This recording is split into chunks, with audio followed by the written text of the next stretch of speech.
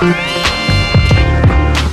Hello, what's up guys? Balik lagi di channel gue Dozo21. Gue ucapin selamat pagi, selamat siang, selamat sore, dan juga selamat malam Buat lo semua yang lagi ada di channel gue Kali ini gue sedikit menjelaskan di video singkat ini Tentang garansi ya Atau tentang kartu garansi dari Casio atau dari G-Shock. Video ini hanya singkat aja, video informasi aja. Jadi buat lo semua yang menanyakan Baik lewat private ke gue Gimana sih caranya ngebedain kalau G-Shock itu kan banyak banget tuh yang KW. Nah, perbedaannya kartu garansinya atau gimana sih? Gua akan menjelaskan sedikit di sini. Di luaran sana banyak pedagang memang yang sebenarnya dikatakan curang juga enggak karena mereka kalau menjual barang KW ya mereka akan bilang KW. Misalnya dia udah clone satu banding satu, dia akan sebutnya ori BM. Jadi ori BM ini akan gue jelasin. Ori BM ini atau original black market ini sebenarnya bukan 100% barang ori dan itu sama sekali fake dan itu bukan original dari G-Shocknya. Jadi ori BM itu sudah jelas jelas KW itu kalau baru ya kalau baru ori BM KW itu udah jelas itu fake semua. Yang asli itu pasti ada kartu garansi dan akan gue jelasin asli itu juga ada modul. Modul itu yang seperti ini guys. Jadi lo harus tahu saat lo buka box banyak sekali yang memang memalsukan mirip dengan aslinya hanya saja gue akan menjelaskan di boxnya itu pasti kalau asli itu dia ada Casio seperti ini. Kalau G-Shock ya kalau Casio biasa itu biasanya boxnya warna biru dan hanya ada tulisan Casio di dalamnya baru ada kartu warantinya. Nah seperti ini dia ada stiker dari importirnya PT FJP Lifestyle yang ori BM ini hampir sama ya. Dia mirip dengan originalnya tapi perbedaannya dia nggak ada stiker dia polosannya dari si yang original dan yang belakangnya sendiri dia tidak ada stikernya.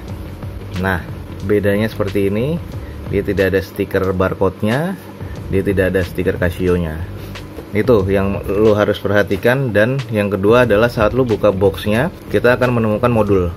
Modul kalau ori BM atau fake fake biasanya fake itu yang di bawah 100 ribu atau yang 200 ribu ke bawah itu dia tidak dapat modul hanya biasanya Mika saja.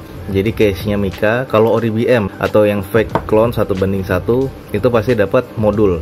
Nah modulnya itu tidak sesuai dengan tipe jamnya. Contoh kayak di sini misalnya gue beli Casio Casio AE1000 modulnya seperti ini 3198 dan itu di barcode-nya atau di hang tag-nya juga ada.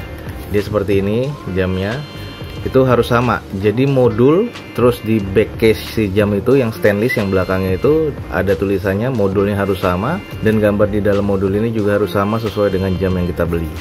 Yang kedua contohnya ini 5398 ini adalah GA400 ini G-Shock jadi di dalamnya seperti ini. Harus sama dengan GA400 itu sendiri 5398 modulnya seperti ini. Atau yang ini gua akan contoh yang ketiga. Ini tadi dari Casio dari G-Shock yang ini dari BBG nah BBG ini modulnya di 5338 ini serinya BA111 dia seperti ini jadi harus sesuai dengan modul. Modul harus sesuai dengan jam yang kita beli dan sesuai dengan backcase atau hang tag yang seperti jam yang kita beli tersebut. Nah setelah modul lalu kita lihat ke dalamnya lagi yaitu ada warranty card atau kartu garansi. Di sini kartu garansi Casio itu ada macam-macam. Ada yang seperti ini macam-macam ya. Biasa garansinya satu tahun. Kebetulan gue dapat warranty cardnya yang seperti ini hanya kertas biasa. Dan ini garansinya internasional bukan garansi Indonesia. Kalau garansi internasional tuh biasanya hanya kertas seperti ini. Ada beberapa sih macamnya berbagai bahasa di dalamnya dan dicap oleh toko jam online-nya. Di sini menariknya kalau kita beli online, warranty card ini dari model nanti modelnya kita tulis sesuai dengan apa yang kita beli, tanggal pembelian, di sini customer atau nama gue sendiri, dan di sini stamp. Stampnya sudah, tinggal kita isi ini adalah garansi satu tahun. Nah, kalau gue ngisi nanti tahun depan ya gue akan bergaransi sampai tahun berikutnya. Yang digaransikan itu untuk Casio atau G-Shock itu adalah mesin dan baterai ya guys. Ini untuk Casio-nya dan ini kartu warranty dari G-Shock. Nah, G-Shock seperti ini.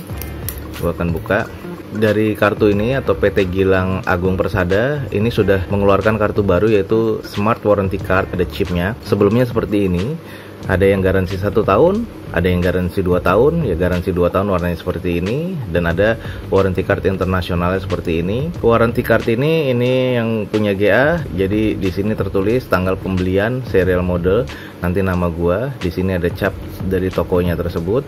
Garansi ini dinyatakan sah apabila dapat tiga ini Ini smart card warranty dari PT Gilang Agung Persada. Jadi di sini tidak bisa dipalsukan ya. Sekarang mulai dari tahun lalu itu sudah digaransikan kartu chip ini. Atau yang masih berlaku dari awal kita beli G-Shock awal tahun lalu mungkin atau dua tahun lalu belum ada smart chip ini dia akan terus berlaku sampai garansi itu habis. Dan yang sekarang ini sudah smart card seperti ini. Jadi tidak bisa dipalsukan garansi dari PT Gilang Agung Persada ini yang sini warranty internasional dan ini yang banyak sekali dipalsukan oleh klonnya atau ori BM-nya. Di sini warranty card itu ada yang berbentuk kartu seperti ini jadi ada yang berbentuk kartu keras seperti ini, ada juga yang berbentuk kertas seperti ini, kayak manual book. International warranty ini berlaku satu tahun. Kalau kita ada di luar negeri, di sini ada tempat-tempatnya di mana kita mengklaim garansi di situ. Sekali lagi, garansinya itu untuk mesin dan baterai selama satu tahun. Nah, jadi lu semua harus memperhatikan itu, jangan tertipu sama pedagang. Yang penting kalau kita beli di Indonesia untuk originalitasnya, kita harus ada kartu garansi seperti ini PT Gilang Agung Persada. Minimal seperti itu. Di Indonesia ada distributor khusus dan resmi. Di sini tempatnya. Lu bisa cek, lu bisa juga follow atau fanbase-nya di sini ada alamatnya. Lu juga bisa follow dan ikuti fanpage-nya dari G-Shock Warrior Indonesia Mungkin cukup dari gua. Kalau ada pertanyaan lu bisa langsung komen di bawah atau komen di video ini. Jangan lupa di like dan juga di share sebanyak-banyaknya video ini ke teman-teman lu semua biar informasi ini menyebar. Gua Dozo21, gua ucapin selamat pagi, selamat siang, selamat sore dan juga selamat malam. See you on my next video. Bye.